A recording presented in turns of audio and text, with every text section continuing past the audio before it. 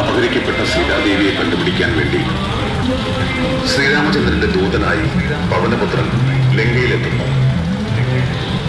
ലങ്കയിൽ അശോകവനത്തിലെത്തി സീതാദേവിയെ കണ്ട് ശ്രീരാമചന്ദ്രന്റെ ചൂടാരത്നം നൽകിയ ശേഷം രാക്ഷസ ശക്തി അറിയുവാനായി അശോകവനിയിൽ നാശനഷ്ടം വരുത്തുന്നു. രാവണപുത്രനായ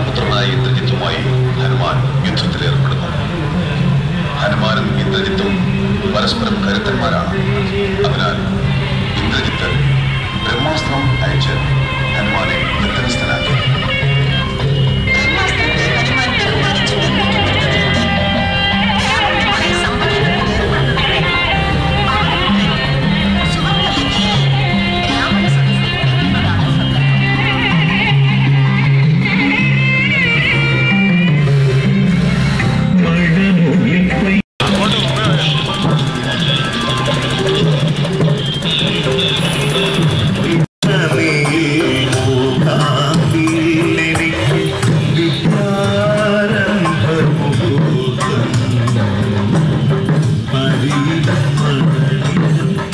lucky to be